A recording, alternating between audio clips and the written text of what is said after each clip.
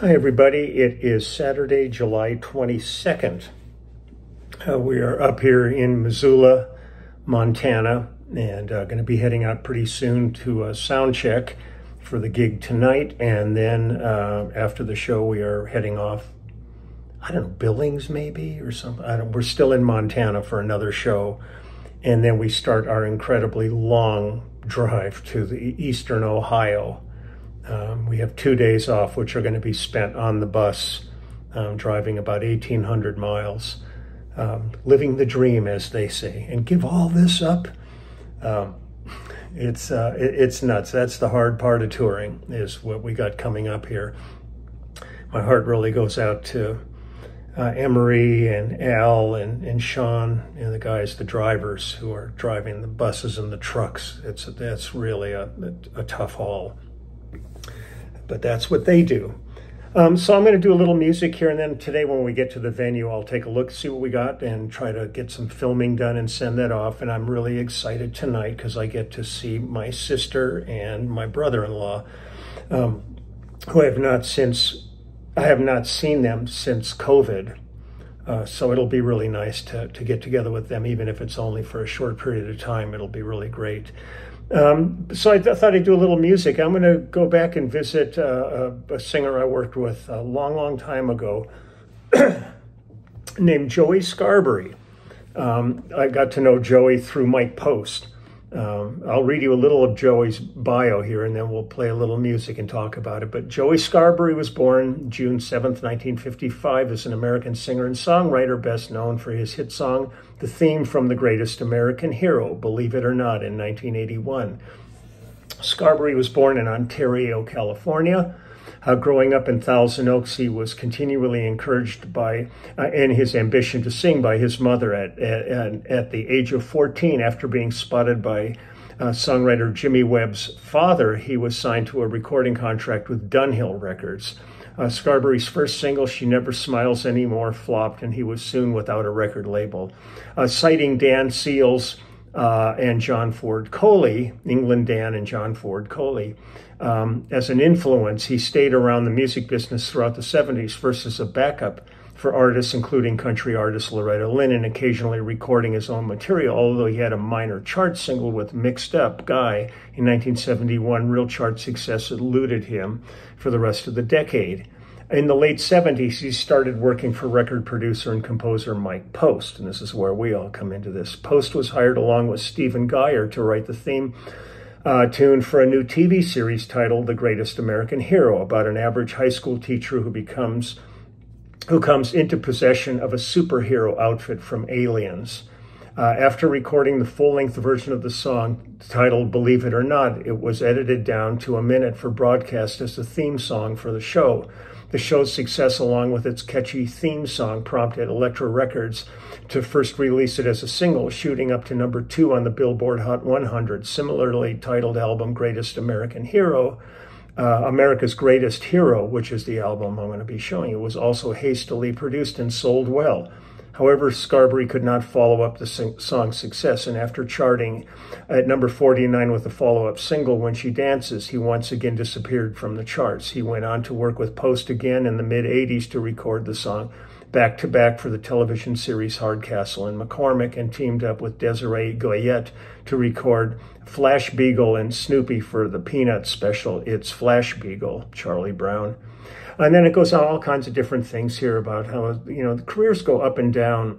Um, it's a really tough life. You know, I mean, you can be on top of it one minute and then the next minute, you know, it's whatever.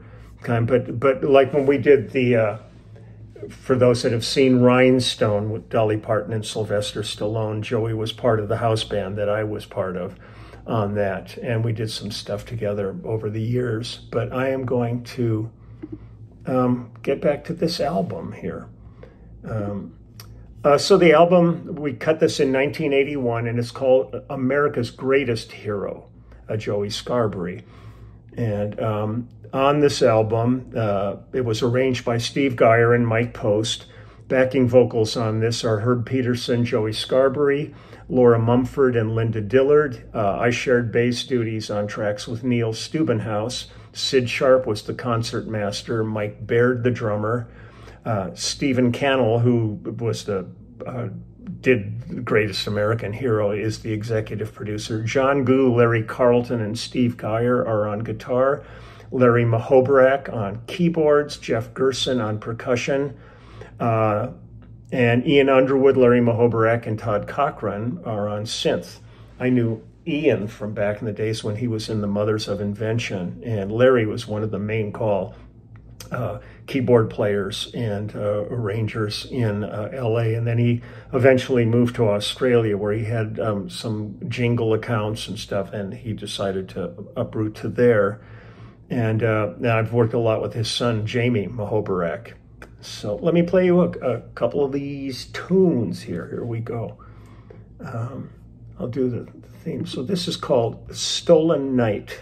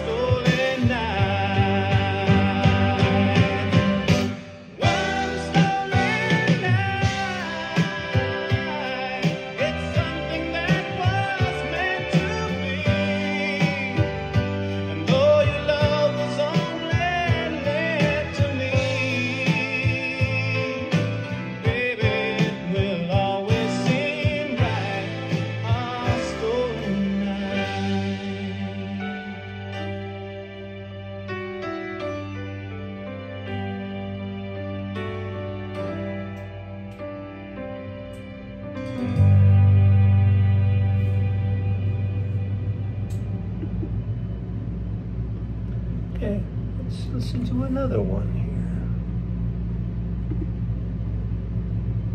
This is called Down the Back Stairs of My Life.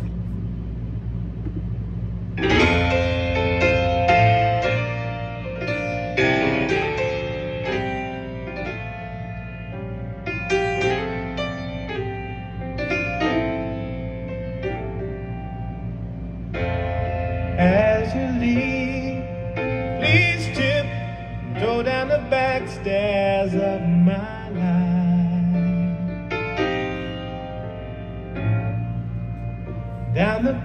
stairs of my life. Everything is all you ever meant and said to me.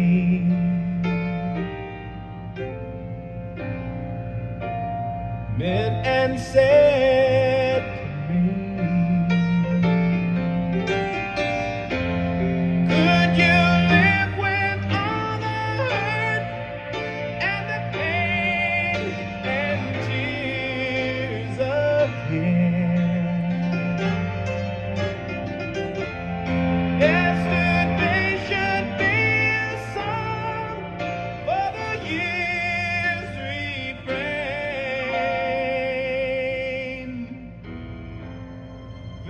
Me,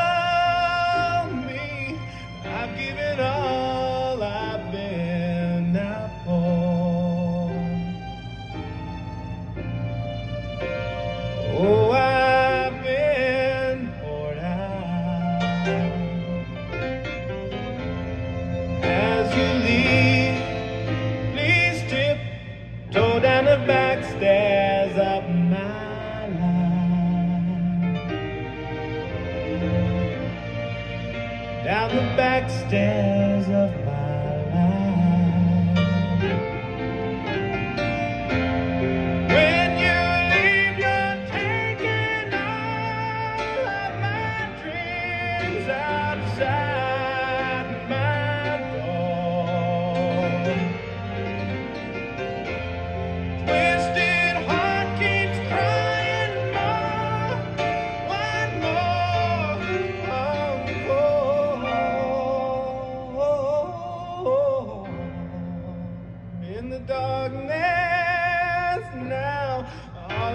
see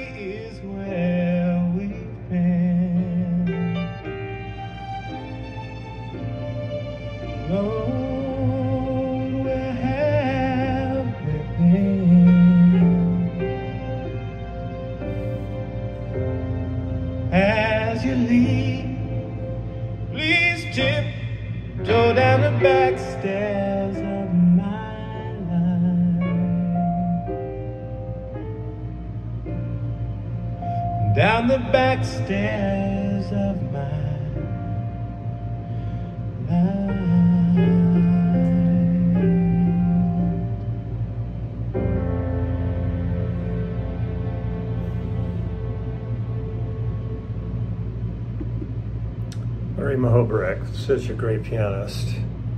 He's reminded me always of Larry Knechtel, uh, who did Bridge Over Troubled Water, piano on that, but I did a lot of work with both of those guys, and uh, they were both pretty amazing. So here's the here's his Joey's big hit though. This was the uh, Believe It or Not. This was his theme from Greatest American Hero, and the album is called America's Greatest Hero. So here we go. You'll recognize this one. This was fun when we did this. We did so many shows with Mike Post. Uh, hopefully, this won't get blocked. it's never a guarantee on on these things when you get into this territory. So let's see what happens. So here we go.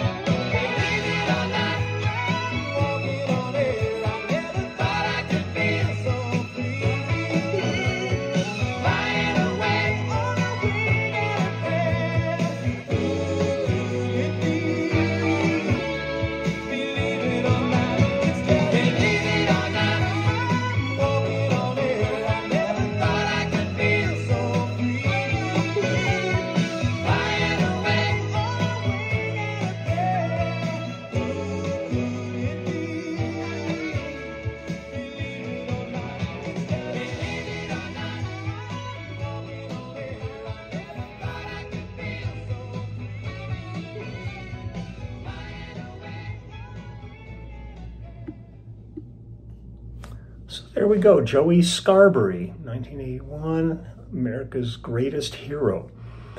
So uh, I'm to get myself packed up here and get ready to check out of the hotel and head off to sound check and another show tonight visit my sister and my brother-in-law and jump on the bus and off to somewhere else. it's like Groundhog Day. It's so funny. I've said it before. I played on the music for Groundhog Day, but I never thought I would be living Groundhog Day. And uh, that's exactly where we're at at this point. So take good care, everybody. I will probably see you this afternoon with a venue um, tour once I see where we're at. Um, but it's a lovely little area here in Missoula. Went out for a nice walk last night, found an Indian restaurant, hadn't had Indian in a while, and uh, it was great. just grabbed it to go, came back to the room and just relaxed and um, chowed down and watched some TV and finally got a little bit of sleep. So take good care and I will see you later on. Okay, bye-bye.